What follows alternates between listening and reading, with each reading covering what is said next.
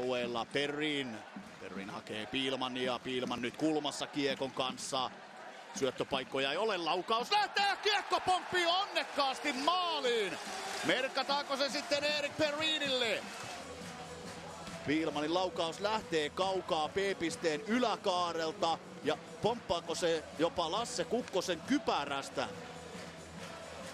Lasse Kukkosen päälaesta kiekko maaliin.